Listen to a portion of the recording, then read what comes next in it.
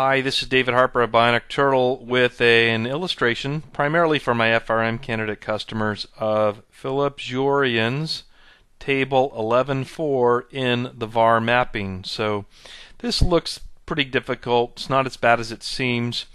And we're building really on the a previous tutorial where what I showed you was the undiversified value at risk of a bond portfolio. Our bond portfolio, to keep it simple, consisted of only two bonds. And we previously computed the undiversified VAR, and now we improve on that by following Jorion and computing the diversified value at risk of the portfolio. What's the difference? The diversified VAR takes into account correlations and therefore gives credit for diversification benefit. If the correlations are not perfect, there should be some diversification benefit, and the diversified VAR should be lower than the undiversified VAR. And so just to this is table 11.4 from Jorion, and as I said, not as bad as it looks.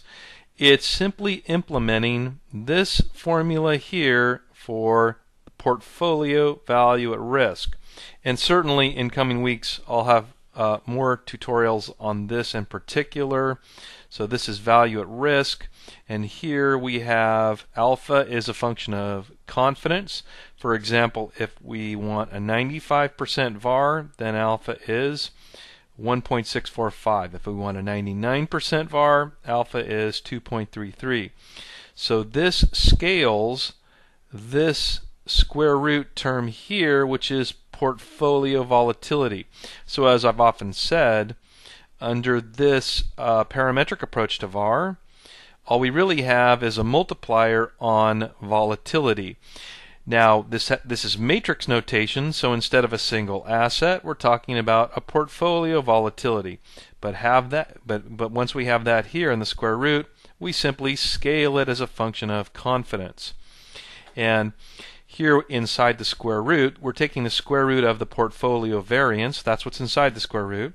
And the portfolio variance inside the square root is a, product of the exposures, that's the x, and this typically suggests dollar exposures if it were a W, it would be weights. So we have a transposed column a vector of exposures multiplied by sigma is the covariance matrix multiply it again by the exposures, but this time it's a it's the uh, row vector or the transposed vector. So the exposures enter twice, but once they are transposed.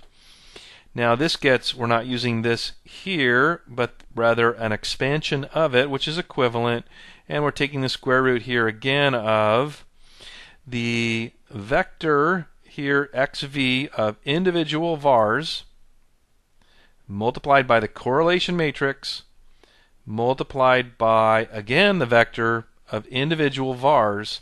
But you can see here the individual vars are transposed. So in our case it's a column vector and here is the row vector. So this formula here is all we're implementing. And just to show you in terms of the data we have we had five cash flows and we took the cash flows in our portfolio. We had two bonds. One was a one year, one's a five year. And then we have the present value of the cash flows. So our bonds, in terms from a cash flow perspective, is just a set of future cash flows that we then converted to present values of cash flows. Those are the small x's. So those are our exposures. Then we multiplied that by the individual, by or V, by the risk at each of these cash flow vertices. And to get, that is the individual value at risk, at least of that cash flow. So it does contain the volatility within it. Small x times v, which is the risk, and we have that product is the individual var xv, and here it is right here and then we have the correlation matrix, and we only need to input the triangles here, but for example, they're all pretty close to 1. Here's the correlation between the second year cash flow and the first year cash flow. So that correlation matrix is the R here. And then we can start into the multiplication. So if I just erase this part out, and again, just to remind you, all we're doing gonna all we're gonna do here is perform this matrix multiplication which consists of vectors and I'm starting here with the correlation matrix multiplied by the individual vars. See that term right here? I'm going to solve for that and it's going to produce a column vector. So if I select the, at least in Excel, if I select the whole vector and then use a MMULT which multiplies vectors, then I really am just going to select the correlation matrix, that's my R, comma, the individual vars, that's right here, close parens, and then I'm going to hit Control Shift Enter to indicate that I'm entering an array formula, and I get a column vector that is the product of the correlation matrix and the individual vars. So I've got that here, and now I've done that part already. Now I just need to pre-multiply that here by xv, those are the individual vars, but transposed. And those are right here. So see how we have the column vector of individual vars? And then I just transposed them into a row vector here. So same values, it's just flipped onto its side. And so I can do really the final multiplication here, which is to pre-multiply that row vector xv uh, asterisk, that's right here, times the column vector that we just did right here, r times x times v. So you can see that's the formula here, and that would give me everything inside the square root here.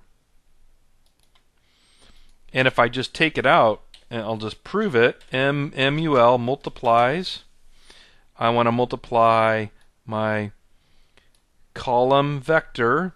That's the individual vars that have been transposed, and it's this piece right here, multiplied by this column vector that I've already uh, produced, and I get what's inside the square root, which in this case corresponds to our portfolio variance.